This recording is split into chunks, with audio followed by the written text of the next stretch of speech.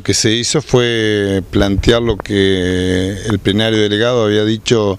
el día de la fecha, se resolvió este, que se deroguen los decretos, mientras tanto se mantenía, diríamos, estado de alerta porque el estado, la medida de fuerza,